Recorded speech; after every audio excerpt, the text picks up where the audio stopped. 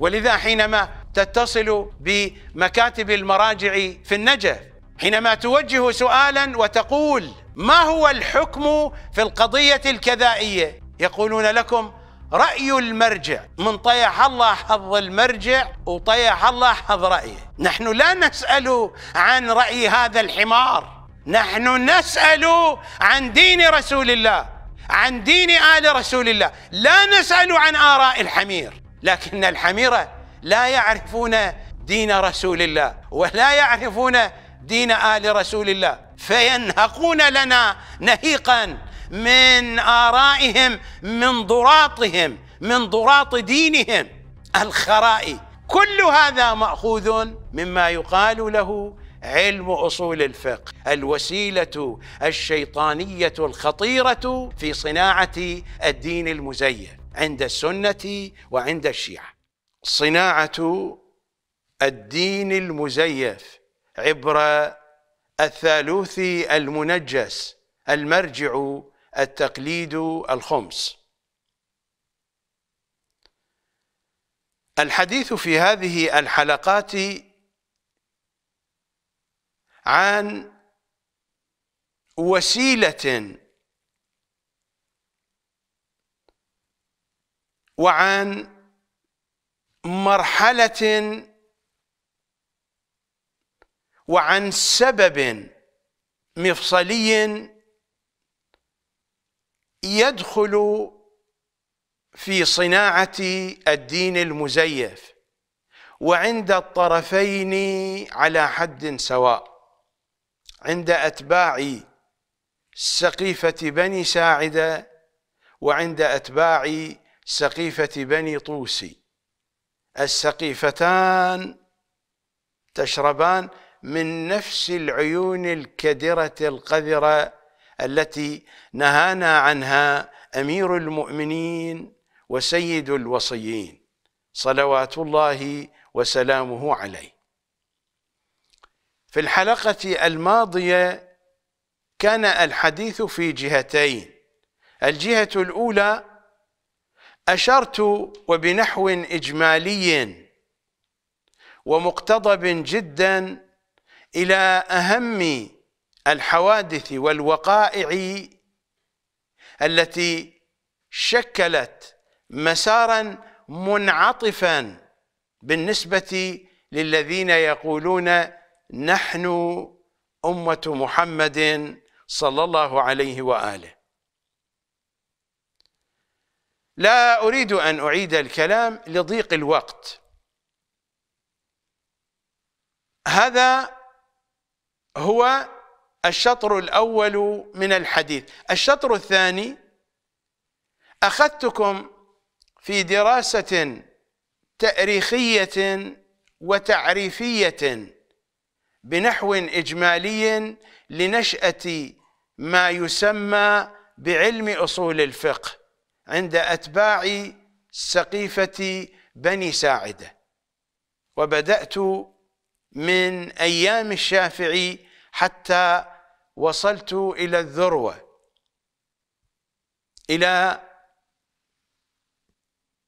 مختصر الأصول الحاجبي مختصر منتهى السؤل والأمل في علمي الأصول والجدل لابن الحاجب الكردي المالكي المتوفى سنة 646 وحدثتكم عن أهمية هذا الكتاب وعن كثرة الشروح والحواشي والأبحاث التي دارت حوله ولا زالت تدور حوله.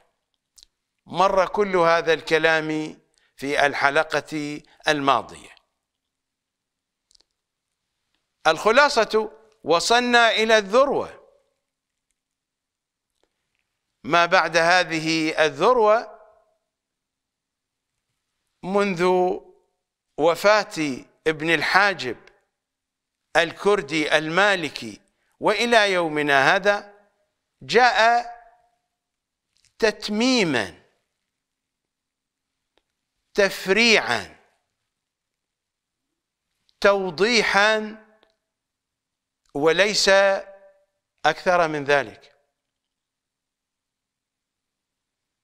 كل الذي جاء بعد وصول علم أصول الفقه إلى الذروة عند أتباع سقيفة بني ساعدة كل الذي جاء إنما هو مأخوذ من سفرة هذه الكتب التي حدثتكم عنها ولا أريد أن أعيد الكلام بخصوصها. هذه الكتب في سفرتها ومن سفرتها. وحول سفرتها تجمع الآخرون. إن كانوا من السنة ممن جاءوا بعد ابن الحاجب وإلى يومنا هذا وإن كانوا من الشيعة أيضا. ممن جاءوا من بعد ابن الحاجب وإلى يومنا هذا. في هذه الحلقة أريد أن أمر على تأريخ علم أصول الفقه عند الشيعة. قطعا في زمان الحضور لم يكن هناك من عين ولا من أثر لما يسمى بعلم أصول الفقه. وما يذكره علماء الشيعة من أن الشيعة سبقوا السنة في هذا العلم هذا كلام هراء. ديننا دين العترة الطاهرة يختلف اختلافا كاملا عن دين سقيفة بني ساعد ولذا لا وجه للمقايسة ولا وجه للمسابقة. في عصر الحضور في عصر حضور الأئمة الذي بقي مستمرا بعد شهادة رسول الله صلى الله عليه وآله بعد أن قتل مسموما بقي عصر الحضور. أتحدث عن حضور الأئمة والحجج من المعصومين صلوات الله عليهم. استمر هذا العصر إلى استشهاد إمامنا الحسن العسكري. في الثامن من شهر ربيع الأول في السنة الستين بعد المئتين من الهجرة. حدثت انعطافة حيث بدأت الغيبة الأولى. والغيبة الأولى هي استمرار للنص التشريعي. صحيح أن الغيبة بقوانينها وشؤونها ليست كعصر الحضور لكن النص التشريعي لا زال يصل إلينا عبر السفراء الخاصين. إلى أن انتهت الغيبة الأولى في النصف من شعبان في السنة التاسعة والعشرين بعد الثلاثمائة من الهجرة. ومن هناك بدأت الغيبة الطويلة التي نعرفها في ثقافتنا الشيعية بالغيبة الكبرى.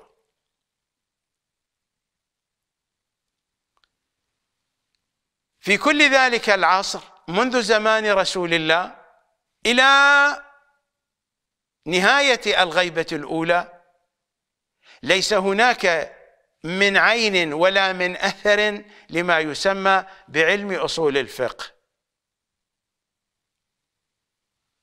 أئمتنا أصلوا الأصول ولكن لا علاقة لأصولهم بهذا الذي يقال له أصول الفقه. أئمتنا أصلوا الأصول وقالوا لنا من أن الأصول علينا على الأئمة ومن أن التفريع عليكم. فنحن لا نؤصل الأصول. نحن نفرع على الأصول ونتلقى الأصول من أئمتنا. هذا هو دين العترة الطاهرة وانتهينا. أما هذا الهراء الذي يتحدث به بعض مراجع الشيعة من أن أصحاب الأئمة ألفوا في علم الأصول. نحن نسألهم رأيتم هذه الكتب؟ لم يرها أحد. اذا كيف حكمتم بهذا الحكم؟ جاءت معلومات في الكتب التي سردت لنا أسماء المصنفات. هناك بعض العناوين هم يقولون هذه العناوين تشير إلى علم أصول الفقه. العناوين التي يشيرون إليها مشتركة بين أصول الفقه وغيره. هذه الكتب لم يرها أحد. هذا الكلام بالضبط يشابه الكلام الذي يتحدث به الأحناف من أن الأحناف سبقوا الشافعي في الحديث عن علم أصول الفقه. كلام يقال كلام يقال. في عالم الحقيقة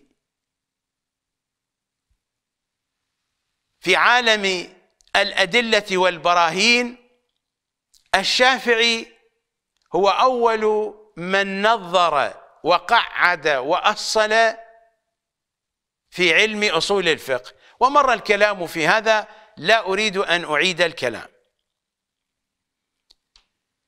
في أجوائنا الشيعية كما قلت لكم إلى زمن انتهاء الغيبة الأولى ليس هناك لا من عين ولا من أثر لعلم أصول الفقه عند الشيعة وما يقوله بعض المراجع من هراء هذا الهراء راجع إليه لا يستطيع أن يثبته. ابتدأت الغيبة الثانية منذ نصف شعبان سنة 329 للهجرة. وما عندنا من كتاب في علم أصول الفقه لأن الأئمة وضعوا لنا منهجا يختلف بالكامل بدرجة مئة بالمئة عن منهج سقيفة بني ساعد. هذا دين وهذا دين. لهم دينهم للسقيفيين وللعترة الطاهرة دينها. ليس هناك من نقطة التقاء بين هذين الدينين وبالضبط ليس هناك من نقطة التقاء بين دين العترة وبين المذهب الطوسي القذر النجس. هذا توأم للمذاهب العباسية التي نشأت في أحضان العباسيين وأبوهم إبليس. أبو هذه المذاهب إبليس إبليس الأبالسة. هذه هي الحقيقة من الآخر. وسأثبت ذلك لكم ولكن أصبروا علي. نتسلسل في الحديث. هذا الكلام خطير ويحتاج إلى مقدمات. نتسلسل في الحديث تابعوا البث المباشر وتابعوا الإعادة وسجلوا الملاحظات وتباحثوا فيما بينكم أخاطب الذين يبحثون عن الحقيقة. الذين يبحثون عن الحقيقة ولا أخاطب غيرهم. أقدم نص عندنا بين أيدينا في علم أصول الفقه ما كتبه المفيد. قبل المفيد نحن لا نعرف نصا كالنص الذي كتبه المفيد. المفيد توفي سنة 413 للهجرة والمفيد الرجل في بداياته إلى ما يقرب من أواخر عمره كان معتزليا بتمام معنى الكلمة. هذا الأمر موجود أيضا عند فقهاء المذاهب العباسية الأخرى. هناك من هو حنفي على المذهب الحنفي في فتاواه وفي فقهه ولكنه معتزلي عنيد.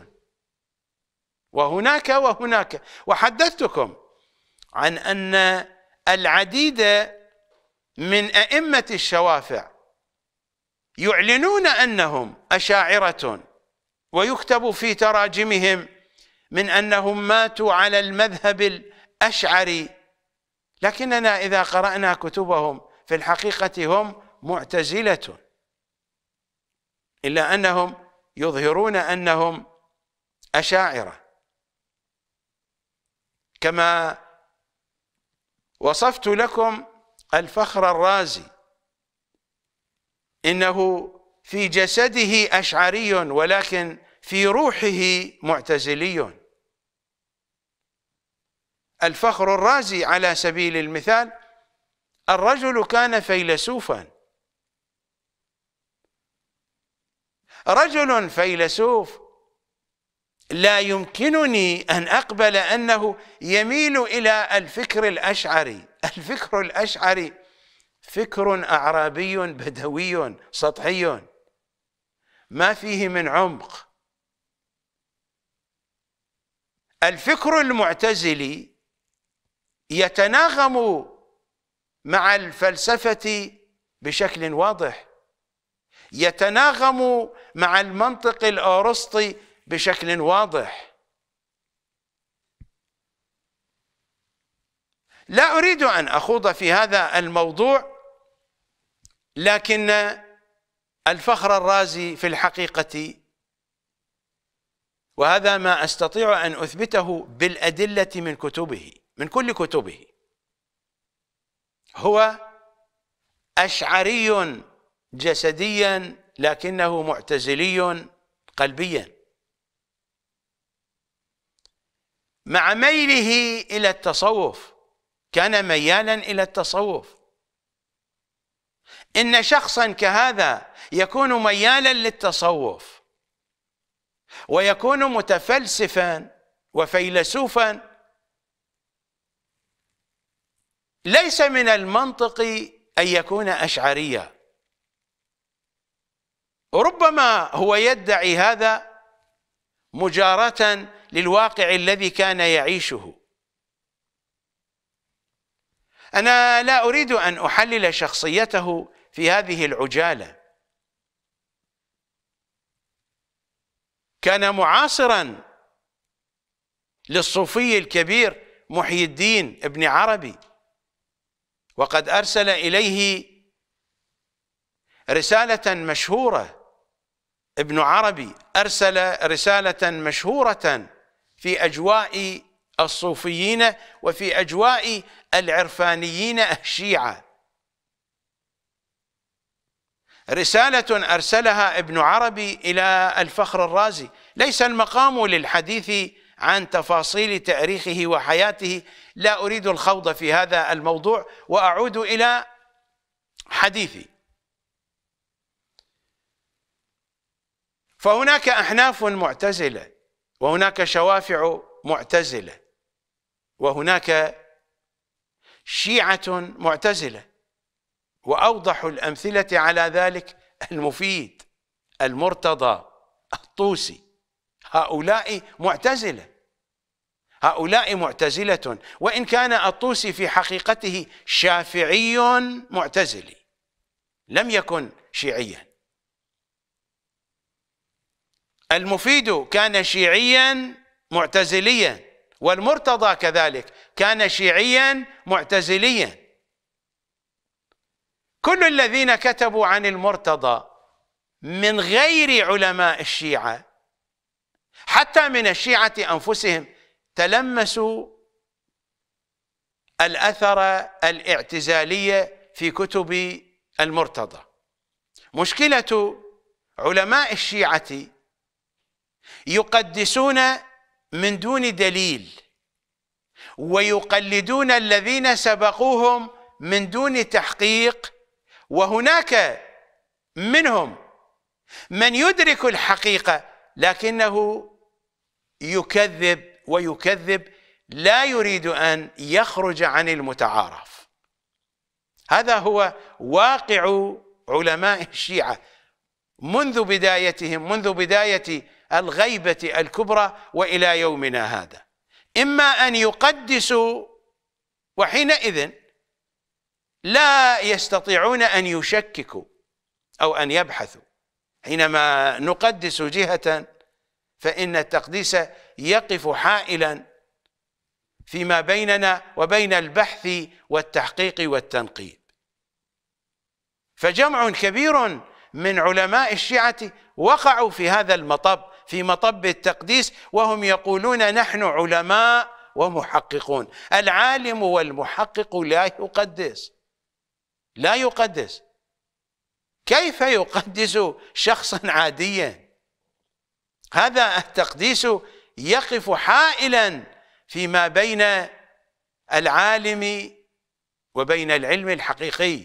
على أي حال علماء الشيعة منهم يقدسون العلماء السابقين ومنهم مقلدون وهم الأكثر يقلدون الذين قبلهم.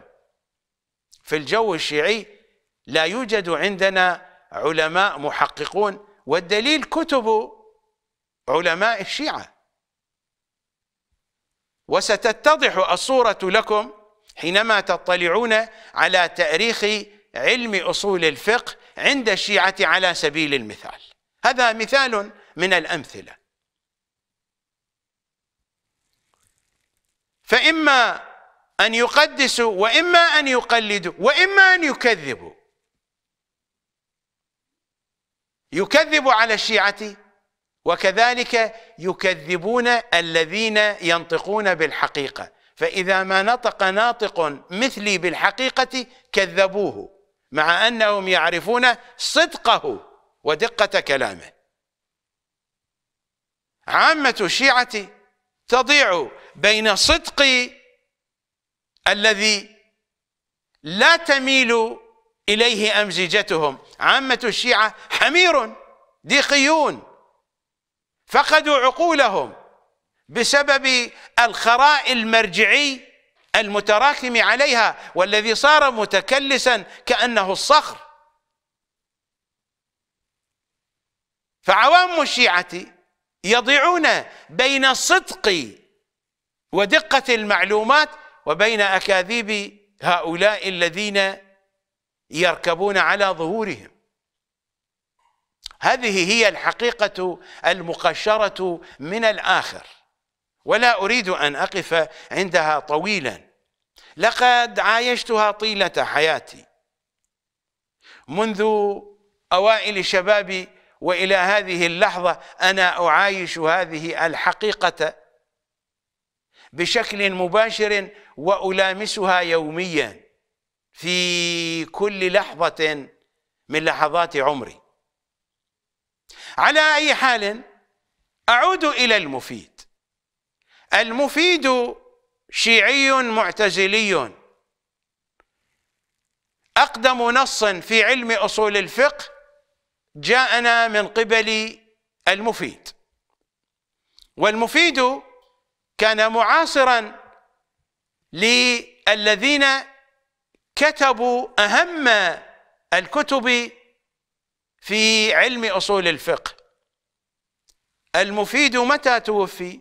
سنة 413 للهجرة. القاضي عبد الجبار المعتزلي الذي يسميه المعتزلة بقاضي القضاة هو إمام أئمتهم. متى توفي؟ 415 للهجرة. المفيد 413 والقاضي عبد الجبار توفي سنة 415 وكان قد ألف كتابه العمد وكان كتابا مشهورا في زمانه. قطعا قطعا المفيد تأثر به تأثرا كبيرا. أبو الحسين ابن الطيب البصري المعتزلي متى توفي؟ 436 للهجرة. كان معاصرا للمفيد وكان المفيد معاصرا له وكان في بغداد. من كتبه المشهورة شرح العمد. شرح كتاب العمد للقاضي عبد الجبار. أما كتابه المعتمد في أصول الفقه فهذا هو عين كتب علم أصول الفقه عند المعتزلة وعند السنة وعند الشيعة. وهذا هو الأصل والأساس لعلم أصول الفقه. وإن كانت كل الأطراف أتحدث عن الأطراف السنية والشيعية تحاول أن تضيع هذه الحقيقة.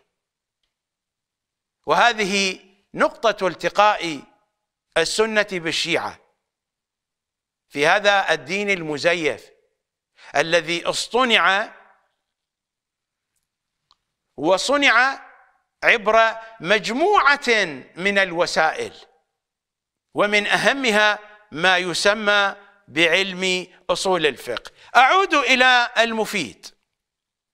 عنده رسالة وجيزة.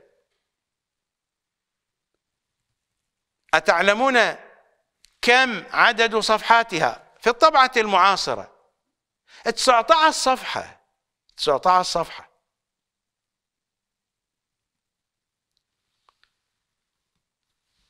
تسعة عشرة صفحة. 19 صفحة. لو كنت لو كنت مسؤولا رئيس تحرير مشرفا مديرا متابعا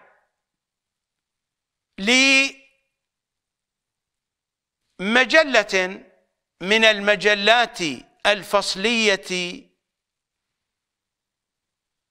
المتخصصة والتي تتخصص في علم معين مثلما هناك الكثير من الدوريات الشهرية الفصلية السنوية التي تكون في مجالات تخصصية. لو كنت مسؤولا عن دورية من هذه الدوريات.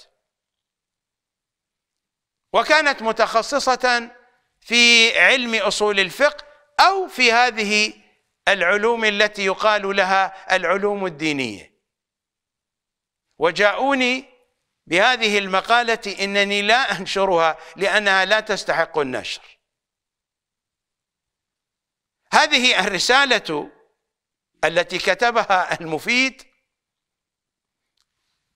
في علم أصول الفقه. إذا أردت أن أقايسها بكتاب المعتمد في أصول الفقه لأبي الحسين البصري المعتزلي لا تساوي فلسا واحدا. أتحدث عن الذي كتبه المفيد. الأفكار في جذورها أخذها من المعتزلة والكلام ركيك ومرتبك. ومخالف للعترة الطاهرة في الوقت نفسه. فأي أصول فقه هذا؟ وأي علم هذا؟ في عدد قليل من السطور.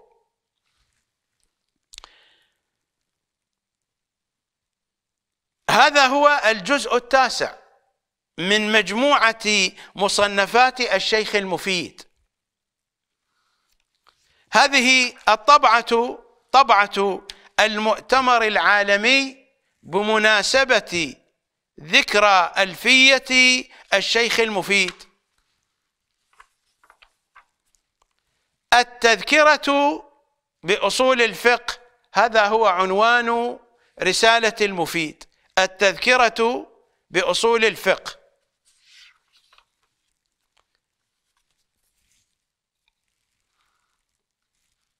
سآخذ بعض الأمثلة على وجه السرعة.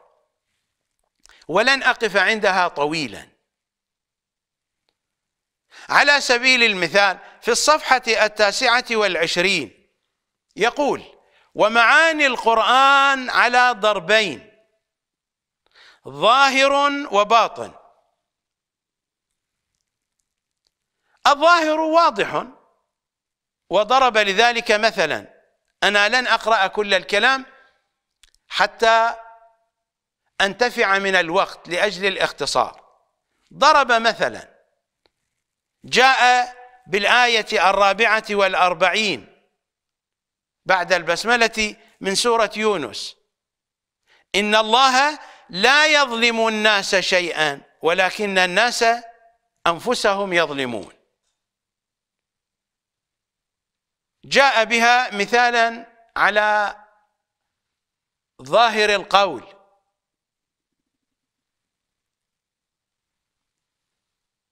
عند العترة الطاهرة لا يوجد ظاهر بلا باطن.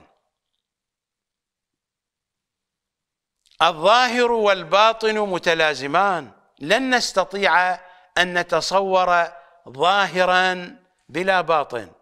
ولن نستطيع أن نتصور باطنا بلا ظاهر. بالضبط.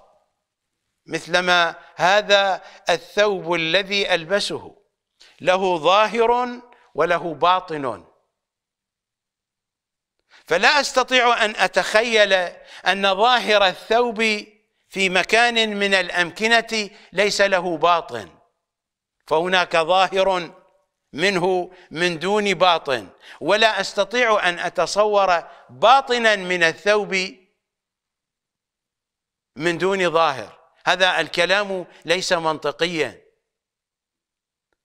في ثقافة العترة الظاهر والباطن لا ينفك أحدهما عن الآخر. هذا الرجل لا أدري أين يتحدث. فهذه الآية لها ظاهر ولها باطن. قد يقول قائل من أن المفيد أشار إلى الظاهر هنا فقط ولا بأس بهذا. لكنه حينما يتحدث عن الباطن يأتينا بهذه الآية أقيموا الصلاة وآتوا الزكاة. يقول هذه الآية فهمها الصحيح لا بد أن يكون باطنيا. لماذا؟ يقول فالصلاة في ظاهر اللفظ هي الدعاء والزكاة هي النمو. وهذا لا ينسجم مع ظاهر الآية لأن الدعاء لا يقال عنه أن نقيم الدعاء وإنما أن ندعو بالدعاء أن نقرأ الدعاء. والزكاة كذلك هي عملية نمو في الشيء فلا يمكن أن نتحدث عن الإتيان بها. فإذا المراد من الصلاة هنا ليس هو الظاهر الدعاء. والمراد من الزكاة هنا ليس هو الظاهر النمو وإنما شيء مخصوص له مواصفاته. إنها الصلاة التي نعرفها في الشرع والزكاة التي نعرفها. فهذا تفسير باطن للآية. هذا معنى باطني للآية. أي هراء بحسب من؟ الظاهر هكذا والباطن هكذا. إن كان بحسب العترة فإن العترة لا تقول بهذا أبدا. هذا هراء. هذا هراء. قلت لكم هذه الرسالة لا تساوي فلسا واحدا وأنا لا أريد أن أناقشها. إنما أضرب لكم أمثلة على وجه السرعة. لأن الوقت يجري سريعا وعندي الكثير من المطالب. وأنا أحاول الإيجاز والاختصار بقدر ما أتمكن. كذلك الأمر في الصفحة الحادية والثلاثين يقول إذا جاءت الآية بهذا الخطاب يا أيها الذين آمنوا يقول من أن النساء ليست داخلة في هذه الآية إلا بدليل. هذا يخالف منطق العترة. هذا الكلام يمكن أن يقوله المفيد ويمكن أن يقوله المعتزليون ويمكن أن يقوله الأشعريون ويمكن ويمكن لكن في ثقافة العترة هذا الكلام ليس مستقيما. يا أيها الذين آمنوا هذا الخطاب شامل للرجال وللنساء. القرآن مشحون بهذا الخطاب ومشحون بهذا الوصف. الذين آمنوا الذين آمنوا يا أيها الذين آمنوا القرآن مشحون من أوله إلى آخره. هذا الخطاب ليس خاصا بالرجال. إنني أتحدث عن قواعد التفسير عند العترة الطاهرة. يمكننا أن نقول من أن الخطاب ليس خاصا في جميع إطلاقاته بالمؤمنين ففي بعض الحالات يدخل المنافقون في هذا الخطاب. بحسب العترة الطاهرة. لا شأن لي بسقيفة بني ساعدة ولا شأن لي بسقيفة بني طوسي. إنني أتحدث عن منطق العترة الطاهرة ولو كان المقام لإثبات هذا آتيكم بالآيات ومن دون روايات ستقرون من أن الآيات هذه تكون شاملة للمؤمنين وللمنافقين فضلا عما جاء عنهم من كلامهم وحديثهم في بيان قواعد تفسير قرآنهم. أنا لا أريد أن أخوض في كل التفاصيل. أخذ أمثلة سريعة من هذه الرسالة. في صفحة 43 تحدث عن أن العقول تجوز نسخ الكتاب بالكتاب والسنة بالسنة والكتاب بالسنة والسنة بالكتاب. لكنه بعد ذلك يرفض أن تنسخ السنة الكتاب وهذا يخالف منهج العترة الطاهرة. هذا منطق معتزلي صرف.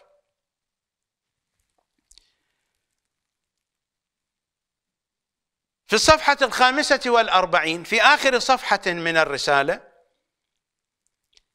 تحدث عن النسخ في الأحاديث أن الأحاديث ينسخ بعضها بعضا. فقال هذا يجري في أحاديث النبي أما في أحاديث الأئمة لا يجري.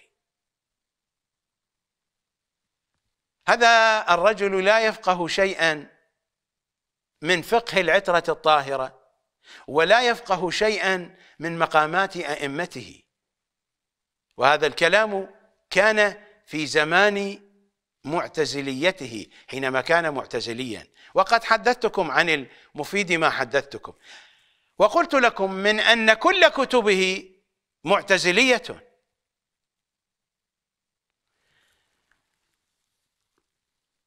لو كان المقام يسمح لي بالتفصيل في مناقشة هذه الرسالة لناقشتها سطرا سطرا. 19 صفحة. كل ما فيها أخذه من المعتزلة. هذا هو أقدم نص عندنا. كتب بشكل رسمي في علم أصول الفقه وهو قال في المقدمة في